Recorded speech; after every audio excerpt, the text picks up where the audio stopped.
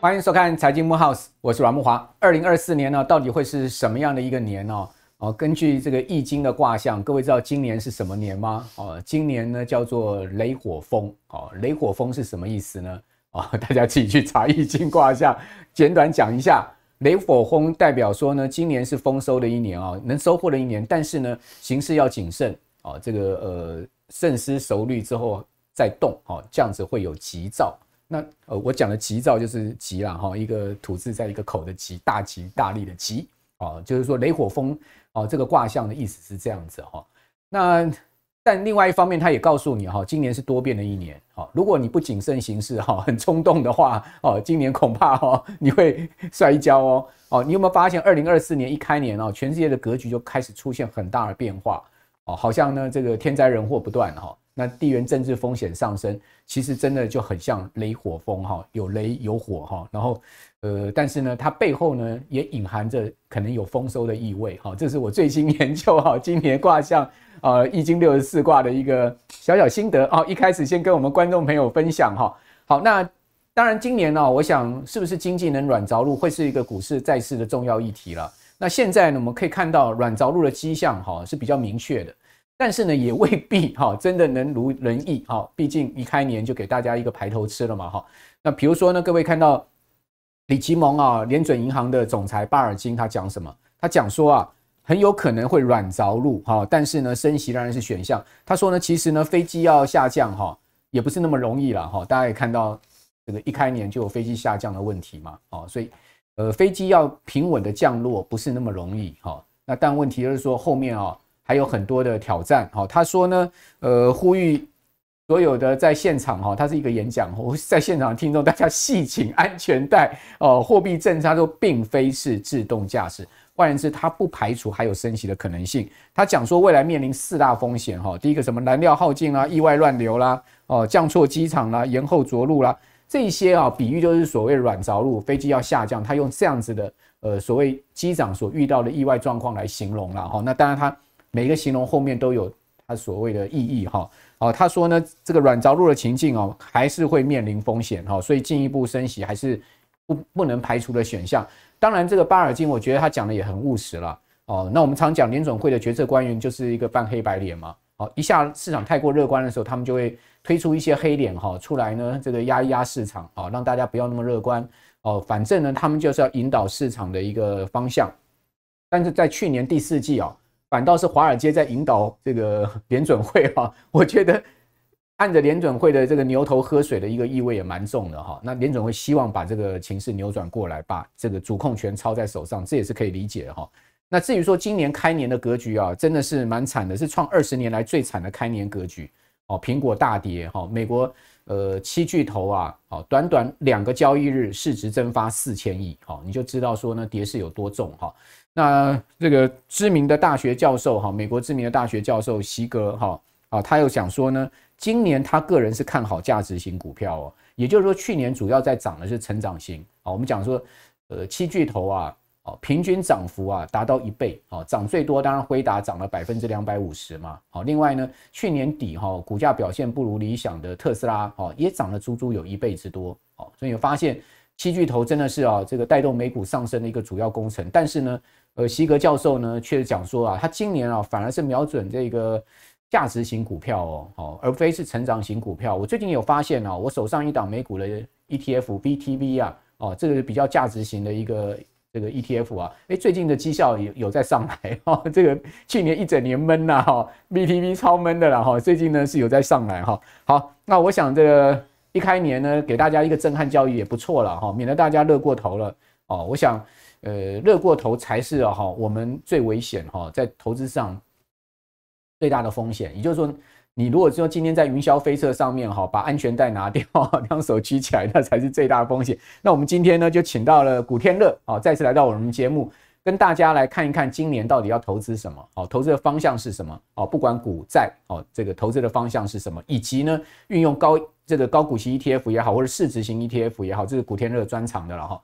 怎么样来创造我们最大的获利哈？因为毕竟去年哦，高股息 ETF 表现的绩效非常好，等下给各位看一下它的绩效情况。好，古天乐你好，主持人好，各位朋友大家好。好，那古天乐一来哈，我就有信心了啦。哈，这个去年你来哈几次都告诉我们正确方向嘛，对不对？好，我想今年呢，呃，一开年这个震撼教育哈，是让我们都也上了一课，对不对？好，那我们来讲一下这个，其实去年的整个 ETF 的热浪真的是非常的大哈。对。因为毕竟呢，投资人去年不管是买市值型、高股型 ETF，多有赚钱啊。但你买到高股息 ETF 赚更多哈，因为它去年高股息的 ETF 的表现比市值型好很多。你知道，截至到去年底哈，台股哈总共有两百四十六档 ETF 了哈，总共管理规模高达三点八八兆哦，这个真的是很大的管理规模。但其中很多一部分是债券的哈。那短短一年暴增一点五兆的市值规模，高股息 ETF 是投资人最爱嘛？好，现在我们看到有这个去年新增六档。哦，高股息 ETF 现在总计已经达到十七档的高股息 ETF 了哈，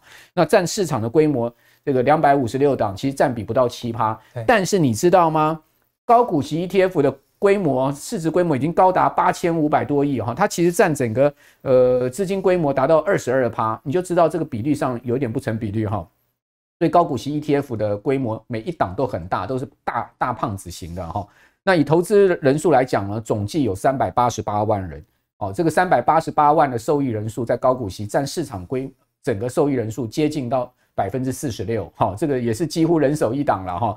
那显示出呢，大家的资金跟热度都集中在这边。好，那我们就来看一下成立满一年的高股息 ETF 它的总报酬率，以及呢二零二三年高股息 ETF 的配息率。好，大家可以看到这张表上面。非常清楚哦，几档我们把它列出来：零零九一五、零零九一八、零零五六、零零九一九、零零七一三、零零八七八等等。好，大家可以看到他们的呃总报酬率。好，这个呃年息含这个是二零二三年含息总报酬率。哦，非常惊人哦，六成五成的一个含息报酬率。还有呢，年配息率也相当不错。哦，那另外呢，就是说在呃，股利总计的部分呢，也提供给大家参考。各位可以看一下我们这张表，你就知道说呢，去年买到高股息 ETF，大概哈都有四五成的一个获利哈，甚至高的到到接近六成，整个含息的部分。好，那这边就要请教古天乐，这个高股息 ETF 哈，去年表现这么好哈。但是呢，我们看到一开年哦，他们也跟着跌的，对不对？哦，所以开年格局不利呢。对，那其实哦，这个刚刚莫华兄也有讲到，今年一开年哦，这个科技股就跌得惨兮兮哦。对呀。所以有的台股也有受到影响，高股息 ETF 当然也有做一些适当的拉回。嗯。哦，那其实哦，这个讲个题外话啊，这我们的网友哦，之前呢几个礼拜前都还都还会讨论接下来哦。到底要获利了结，还是要爆股过年，还是要去睡公园？嘿啊！结果这一个礼拜过后，那个没有要没有要那个获利了结的，这声音不见了哦。因为本来的那个获利空间哦，差不多也跌掉了，被压缩了。对啊，所以就是跟大家聊说，这一段期间呢，哦，主要就是因为美股的影响。那至于今年哦，这个高息 ETF 还会不会再复制去年的走势？这是现在大家最关心的事。那我自己看法啦，我觉得几率哦非常低。对，非常低。哇，因为你直接泼冷水呢？哎，也不是说泼冷水，因为去年我们可以看到，大部分高息 ETF 它都是跑赢大盘的。对啊，对啊，这个现象是非常少见的。嗯，对，因为我们知道嘛，你高息 ETF 每年配五趴六趴的股息给你，你又要它能够跑赢大盘，甚至还有七八趴十趴的。对，你又要它能够跑赢大盘，哪有这么好康的？嗯，那去年为什么上涨？主要就是 AI 题材嘛，对哦，那刚好这些 AI 题材呢，他们涨的股票又是那一些长期配息稳定、少有波动的高息 ETF 喜欢买的股票，所以叫做纯股变标股。对，所以去年这些高息 ETF 会涨这么多，某方面就是因为这个因素哦。那这个情况呢，我其实觉得它是一个巧合，要再巧合的几率才会发生的事情。嗯，对，那我觉得哦，接下来你要再能够复制去年那种表现哦。几率很低，所以我觉得今年呢，不过大家也不要太悲观了。我是说不会复制像去年那种一次涨四五成的走势，但是它的配息率要维持五六趴，我觉得是没有问题，因为获利都还是有的。对，但是价差要像去年那样不可能呐，不然对不对？那个你你其他科技 ETF。连哪往连往哪里摆有没有 配息没有人家多，那又涨出人家高息 ETF，那收一收算了这样。OK，对，这个有点醍醐灌顶了哈，在这个礼拜呃礼拜天的早上就直接给我们冷水三斗泼下来 哈，这是古天乐有点坏好，不过我觉得古天乐也是呃很诚恳的告诉大家他的看法哈。好，那另外就是说，当然高股息如果说。你你觉得没有像去年可能表现那么好，那市值型呢？我们常讲说市值型的 ETF 挑选哈，挑这种 ETF 是不是要找一些有新的选股原则的 ETF 来挑呢？对，那我其实跟大家聊一下，其实市值型 ETF 在过去一年哦，这个关注度非常低啊。啊，好，原因哈，你你因为输给大配息输给人家就算了，连价差都跑输人家。哦，不过我要跟大家聊，就是说呢，市值型 ETF 其实它跟高息 ETF 它是明显区隔的商品。嗯嗯你会注意到呢，我们现在所有的市值型 ETF 跟高息 ETF 它最主要的差别在哪里？对，有没有台积电这件事情？当然哦，因为我们知道嘛，现在这个台股哦，这个加权指数里面光一档台积电，这个占比就高达了二十七趴。是哦，所以哦，你在买这个市值型 ETF，它的差别主要就是在台积电比重的对多寡。对对对，如果你过去是买这个高级 ETF 的投资朋友，嗯你今年如果要买的话，我觉得倒是可以配置一些市值型 ETF。基期比较低是这样吗？对，那再来大家可以看一下哦、我这边统整了最新的嗯这个呃市值型 ETF 的表现。嗯那大家可以看到，去年呢表现最好的呢都是台积电占比比较低的。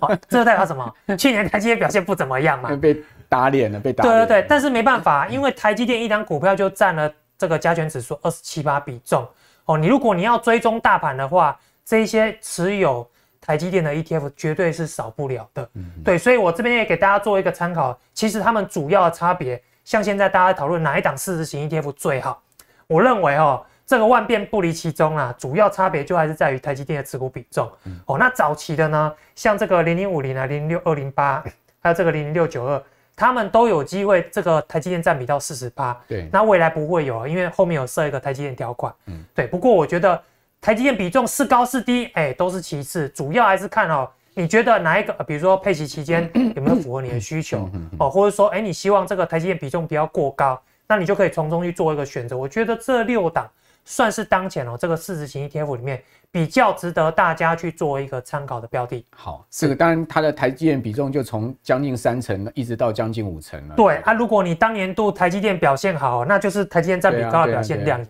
就像二零二零年、二零二一年，就是这些市值型 ETF 这个大显神威的时候。对啊，如果说你的这个台积电比重比较低哦，啊啊，如果后来是涨台积电，那他们表现一定会落后，这个就是一个相对的概念。对了，是，这个有一好没有两好就对了。给大家做一个好参考。好，那这个高股息 ETF，来有有的真的是涨很多，对不对？对哦，这个涨你你刚刚讲了嘛，今年涨个三成四成，是那都算少的。对多的都是五成六成这样子一个报酬率哈是。那买不下去怎么办？合理价我们可以算出来吗？对，那其实现在哦，我觉得这个也是大家最常讨论的问题。那 ETF 到底有没有合理价？对啊那我先讲我的看法哦。其实我觉得 ETF 根本没有合理价这个东西。，OK，怎么说呢？因为 ETF 它是有一篮子股票嘛，对，那个股的话，它是有本益比、净值比可以做一个估值的计算。嗯嗯但是 ETF 它是一篮子股票，没有这些数据可以做追踪啊。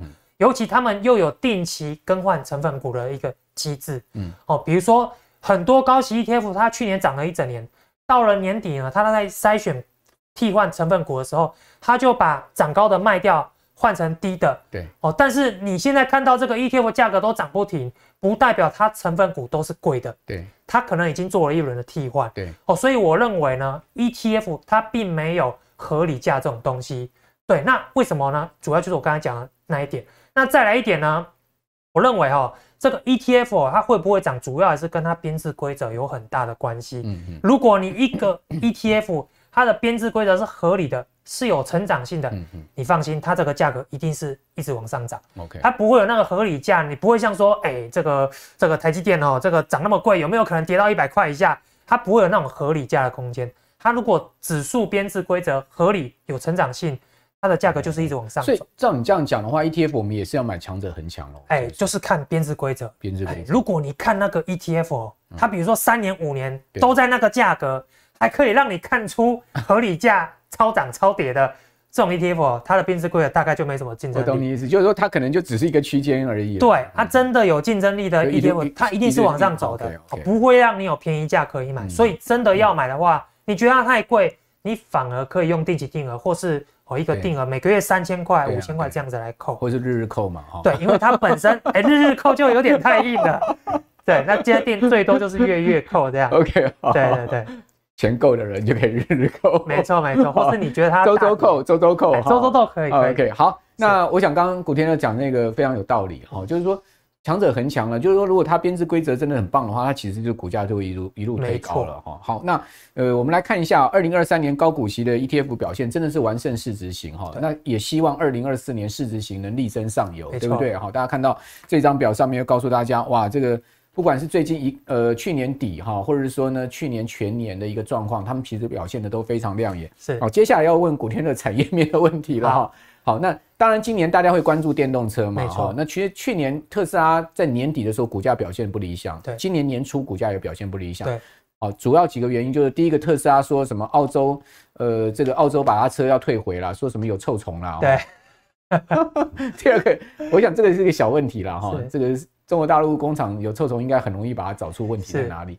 好，第二个呢，就是说美国要取消电动车补贴，哦，其中特斯拉哈。只有三款拿到，Model Three 跟呃这个呃 Cyber Truck 都没有补贴喽，哦都没有补贴喽。然后呢，欧洲的大国哈，德国呢也说要取消什么三百三千五百欧哈，什么四千欧的这个电动车的补贴，因为德国政府财政预算有问题，好，所以电动车补贴拿掉哈，这也是一个问题。好，再加上呢，大家觉得特斯拉哈后面可能毛利还要再继续掉，是啊，这个就几个。造成特斯拉股这个股价哈最近表现不理想哦，尤其是它去年第四季哈，它的这个交车总数大概差不多是四十八万多台嘛，结果比亚迪的纯电哦已经五十二万台了，所以比亚迪已经抢走特斯拉哦全球电动车哦一哥的地位了。那另外呢，美国除了取要取消部分电动车补贴以外，你会发现美国的电动车销售成长也在趋缓，很明显哦哦这个这个这个曲线图在往下，所以。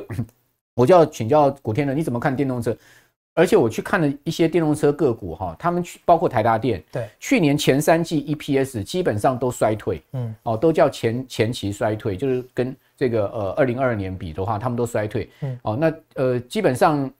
衰退 EPS 就不是那么好了嘛，对不对？所以说，在这样状况下，我们是不是觉得电动车市场是比真的是开始趋缓了？嗯，那其实哦，我们先从这个广泛面来跟大家聊，它电动车呢，其实绝对是一个趋势，对，但是它的成长性呢？一定是会每年都不太一样哦。那其实我们阶段性的对，那像其实像我那个侄子小朋友，他都知道电动车的趋势，那 大人怎么会不知道哦？是，他是有那个小兵士，对对对，他们那个都已经改成电动车了，已经不吃油了哈，都是标榜电动车。OK，哦，那其实大家看数据也可以知道啊，整个二零二三年这个全球电动车销量，它是开始在往下滑。那其实这反映了一个现象，就是说该买的人都买了啦。对对。那你还没有买的呢？接下来就是哦，再做一个比较嘛。哦，那。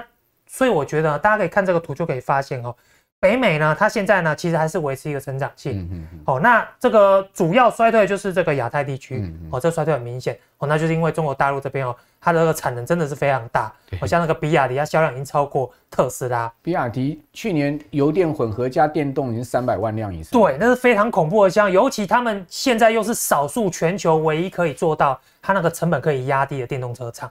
哦，那其他的电动车厂都还很贵啊，可是就是中国他们的电动车的成本可以压得比较低一点，哦，那这是非常强大的竞争力。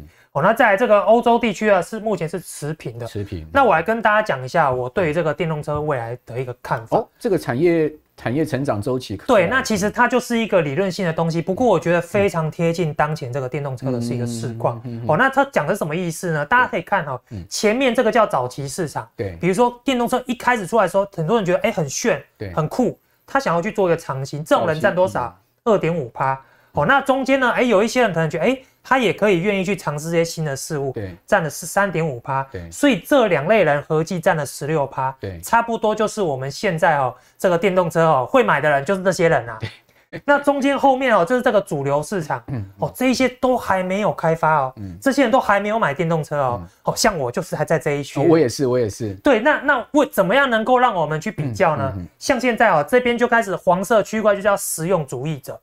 就像我们这种人哈，我们就开始会去比较，哎，你这个电动车跟传统这个吃油的，到底哪一个优势比较好？一条一条列出来看哦。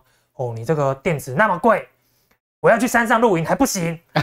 哦啊啊，所有的成本都那么高，那我油钱贵一点，好像也没什么关系嘛哈。所以锱铢必较 分，我们会算的比较精。所以你要让这一类人哦去买单，它的难度是比较高的。对对对。不过我觉得啦，像这个。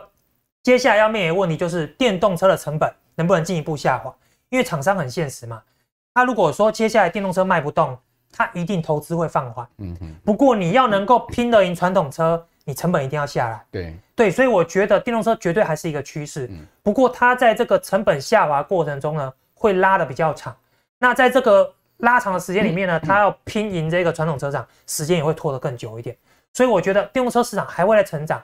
不过呢，哦，就现阶段来看啊，它成长会做一个放缓。OK，啊，不过它还是一个明显的趋势。但是你在操作这类股票，你一定要记住一个原则：它最爆发的时间点已经过了，没错哦，会长线的你都已经买完了。对对，接下来就是进入到跟传统车厂竞争的时代。嗯，嗯对，，那至于概念股的话呢，我这礼拜本来要准备几档给大家看呢、不用，我就直接问你一档特斯拉，你会不会买？你你看嘛，这个特斯拉拉线型出来哦，我们有看过技术分析的都知道，它最近哦这个线就不太好看 哦，这怎么看都像是那个一把刀子往下掉哦。OK，我们也不方便在这个节目跟大家讲这种股票，了解了解哦但是我们跟大家说，其实这些股票我都在持续观察。嗯下一次哦，如果我觉得他们哎、嗯 OK 了，嗯也许我们就可以在节目上面跟大家分享几档做参考。好，是确实啊，这个我对电动车一些研究哈，也也告诉我，就是说呢，其实今年电动车市况哈，可能可能会比较忍哦，哦，可能比较忍。除了刚刚讲补贴的问题以外，其实就像古天乐刚刚所讲的，就是该买的人都已经买了，对想买的人都能买了，保守不想买的人还是继续观观望，没错哦，他也带不动那些保守的。那另外呢，就是说整个呃电动车相关的配备，哦，就是比如说充电桩啦。哦，这些这些问题其实都还没有这个解决嘛，是哦，比如说台湾充电就不方便嘛，哦，对这些问题我想就是会告造成电动车这个所谓的早期追随者不能进入到这个市场的原因。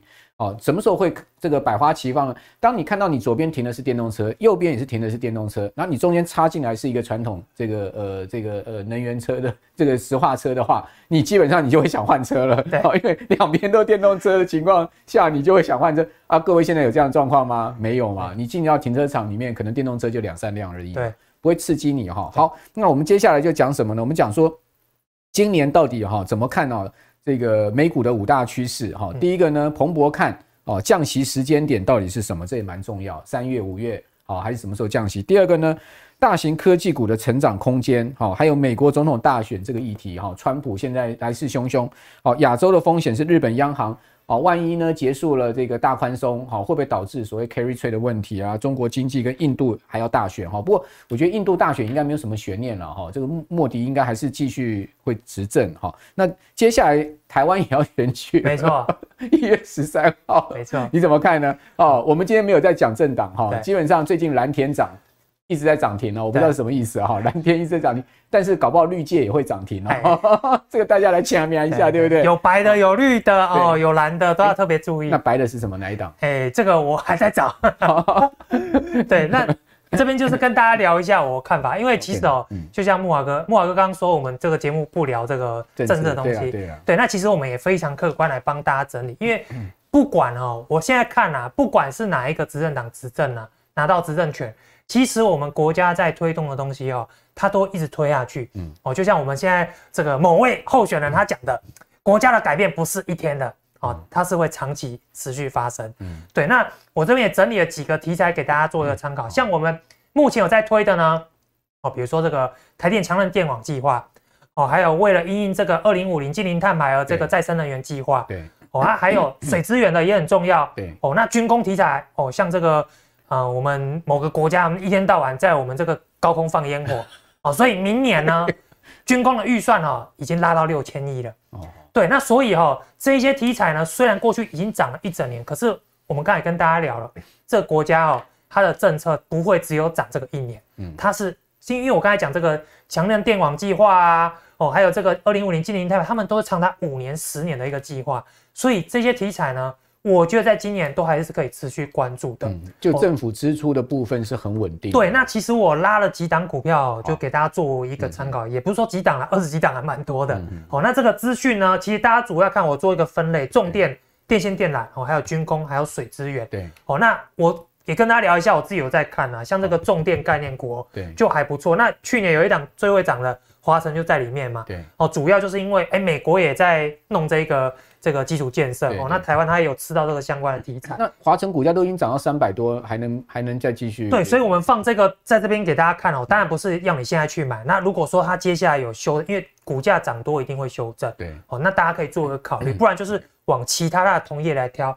像这个雅丽呢，它就是沾到这个呃台电民营化哦，它有一些题材在里面哦，比如说。哎，大家都不，大家知道吗？这个元月份台铁已经民营化了。我知道一月一号啊，挂牌啦。对，那接下来国营公司啦。对对对，所以接下来它一定会做一系列哦的，比如说强化这个效率的一些措施。哦，那当中受惠的题材就是这个雅力。哦，对，那中心雅力受惠台铁民营化。哎，这个这个有国营化了，国营化。对啊，那中心店就不用多说了，这重电三雄之一。哦，那电线电缆的部分呢，就像我刚刚讲的这个呃强韧电网计划，他们也有吃到。哦，那军工的部分哦，也是我们关注最多的。哦，像这个最近哦，这这一两年，自从佩洛西访台以后，哦，你看这个两岸的一些一些问题越来越多，所以所以政府通常无论哈，因为像那个我看每一家每一个党派的他们的发言都有提到说，呃，这个接下来军工的一个预算应该会拉高，除了某除了特定的那个。阵营没有提到以外哦，所以我觉得这个题材呢，啊，接下来应该也是值得关注。像我自己有在看，就这个八冠，然后八冠当然它是它是跟防弹衣有对，它市场主要在海外 哦。那这个的话，因为现在全球也是地缘政治冲突不断嘛，哦，这一个也是有吃到海外的一个军工题材。那国内的话呢，哦，像我那天听到某一位候选人他要讲说，他当选后呢，他要来。发展这个无人机，嗯，哦，那无人机就是什么雷虎啦，哦，亚航啦，哦，汉翔啊，这些都值得关注。嗯，哦，那像全讯呢，哎，就是有这个飞弹哦上面的一个晶片，哦，那长虹航太更不用多说。那水资源其实也很重要，哦，像现在哎，台湾。啊，台湾的水资源哦，这个是一年比一年还要缺。嗯，因为我们台湾虽然降雨量高，对，可是通通都流到海里面了。对，哦，所以接下来这个水资源发展也很重要。嗯，我们政府，我去年好像也有编一个 预算，四年四千亿。是，哦，那水资源就拿了两千亿。哦，那这里面呢，其实水资源技术最好就是国统。国统，那也是给大家做一个参考。那去年也涨蛮多。那我都觉得这些股票其实它拉回都可以持续来做一个关注。那国统它水资源它是做什么呢？呃，古董它水它主要是做，它有一个那个那个管，它一个管子，它是有它是有专利的，对，那主要都在水库旁边哦，它的建设都在水库旁边哦，所以它是做工程的，就。对它，哎，它其实包了蛮多的，包山包海，对对对对对，它其实到处会去标那个这个标案，那接下来呢，它拿到政府的这个预算其实也蛮多的，他会去做一个参与标案，那它技术又最好，专利也蛮多的，那我觉得大家可以持续来，那它的。营收就应该是蛮稳定了。哎，它营收会接下来逐年越来越好。OK，对。那其实像这种股票的话，它去年虽然涨了一百多趴，不过我觉得这种股票它拉回都可以关注，因为现在指标股就是它，水资源的指标股就是它。好，对。当然哈，这个不是叫你现在就去买哈，听好了，你要拉回哦，有机会你再去上车，不要急，好不好？好。对，最近就在拉回了嘛。对，好，那呃，古天乐，你对今年整个大盘的看法是什么呢？包括除了这些呃军工股啊，或者说政策概念股，你还有其他看好的族群吗？呃，因为今年哈，其实我们上一次节目以来也有聊到说，往年第四季到隔年第一季，通常都表现最好的时候。嗯，哦，那尤其呢，现在已经到一月份，对，哦，那。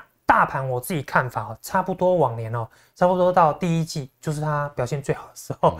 然后讲这话我都毛毛的哦，但是我不是说最好这个第一季过完它就要开始下跌，但是以前是有这些迹象，就二三季就会比较不好了。对对对，尤其像现在第一季是这个半导体的淡季，哦，所以我觉得主流都还没有发动的情况下，可能第一季它会有一个短暂的一个啊见高或是做一个高档震荡的一个情况。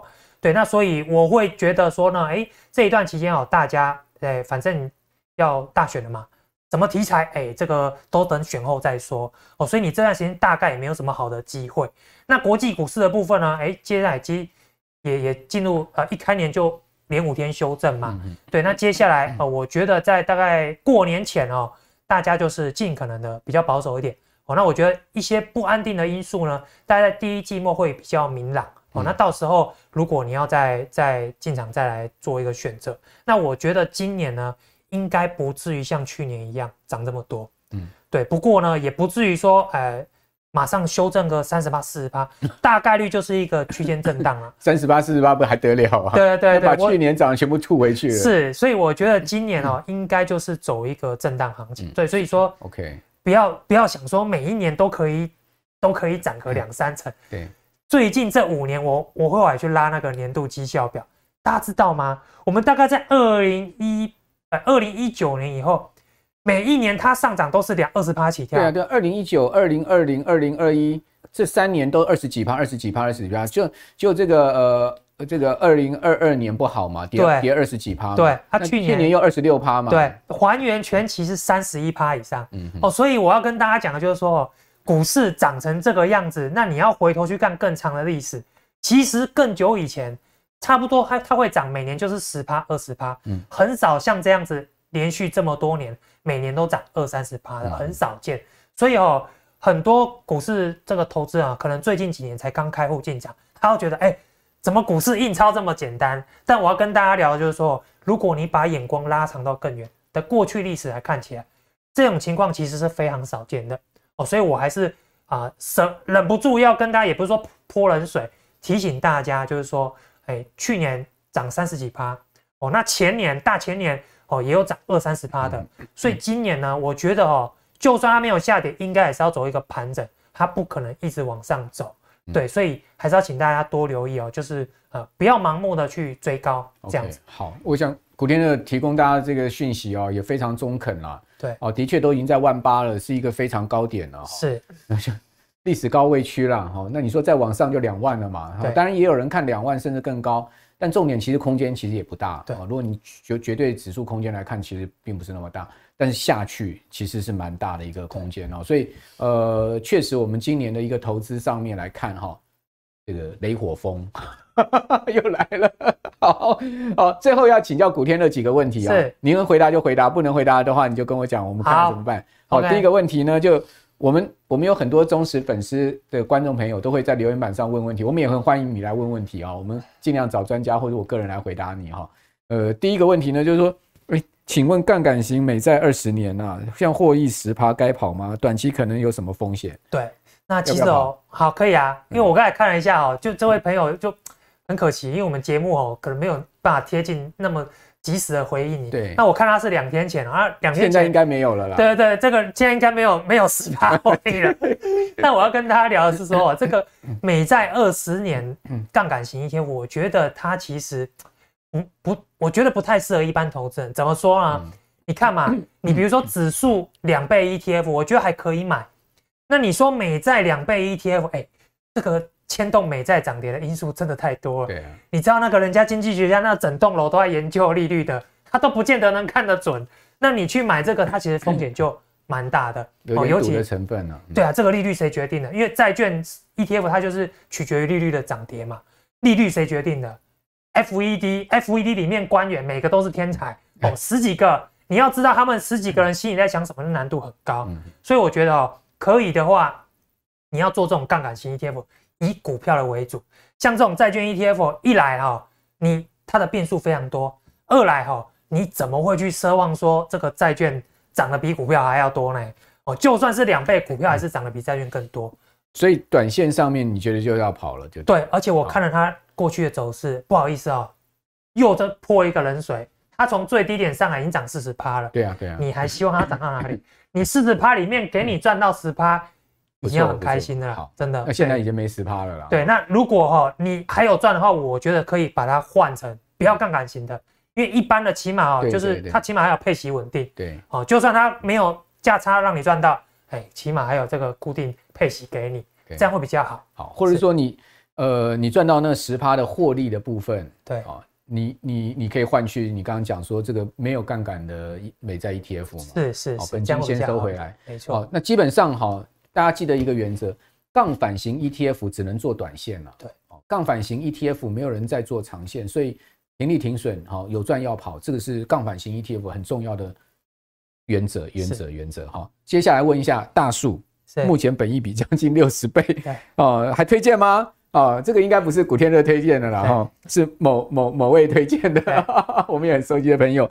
未来的成长性在股价。上会不会已经先行反应了呢？哦那那你你喜欢大树吗哎，我其实蛮喜欢大树的，因为哦像我之前都会去那边买一些这个医疗用品。？OK，对，那嗯那这个我们网友说有没有推荐？哎，再次强调，我们这个节目哦，受金管会监管，还不能推荐了好不好？好好不要说推荐讲，那太难听了。有没有介绍这样子？对对对看不看好？对，对，那我个人意见啊，个人意见。对，那其实大树这档股票，我知道这个市场上可能有比较比我更专业的专家在看，我也不好意思在他面前关公这个关公面前耍大刀哦。嗯，这样比较详细的说明就留给他来来看。那我自己来看大树这一档股票，它其实资本不大，对。对，那它的这个交易量比较小，对。哦，所以它呢这个涨跌哦，我觉得会有比较比较具有变数。不过它其实本业算是呃没有像科技产业这个波动这么剧烈。对，它是一直在展店呐，其实对，那那我相信它的政策应该还是想要走一个规模化。那这种股票呢，因为它过去几年真的涨太多了，对。对，那就算它现在要继续涨，我觉得应该也是要拉长时间，就像电动车一样，它那个哎、又可以拿那一张图出来，有没有？哦，这个前面这个这个市场哦，哦，现在已经大概已经到，现在要大概已经到这边了，对，那接下来成长会放缓，那就等它的这个规模的效益看哪时候出来。那我自己看啊，哦，这个大树呢前景应该是还不错啊，不然它的估值也不会这么高，然后都不会下跌。对哦，但是你要它再能够啊、呃比如说一个一两个月让你涨个二三十趴，这种机会很低了啦。嗯嗯哎、不过你如果说要长期持有的话，哎、我觉得应该是没有问题。当然哈、我们那个节目另一位专家改天可以来请教他一下。好哦，我们就是今天的这个，根据我们现场网友提问呢，就做一个简单的回复，这样子。确实啊，这个回复也很中肯。基本上基基本上大树啊或者统一超啊，类似像这样的通路股，他们本来在法人的眼里就享有相对比较高的本益比，是只是说也没有高到六十倍这么高的本益比。那我我是不知道大树未来有没有反有股价有没有反映它未来的成长性了哈。但是呢，从技术面可以看到哈，大树其实除完息之后，它的股价其实是持稳的。除完息它没有填息，然后它的股价在低档，其实量缩在在做整理。那只是说整理到什么时候？如果从技术面来看的话，整理完末端不是上就下嘛？是，哦，那这个提供给您参考哈。我我也不知道它会上或下，我们就看它怎么整理，整理完之后它趋势跟方向会出来。是好，今天非常谢谢古天乐，谢谢也谢谢我们所有观众朋友的收看。我想这个礼拜哈，呃，六日两天，大家如果看我们节目的话，一定会有很多的心得了哈。那提供给各位哈，二零二四年啊操作跟投资的策略的参考哈。我是阮木华，我们下次见，拜拜。拜拜。二零二四投资趋势论坛，全台最隆重的投资盛会将在三月二号上午九点登场。四位超人气的重量级财经专家齐聚一堂，要与投资大众在台北来一场近距离的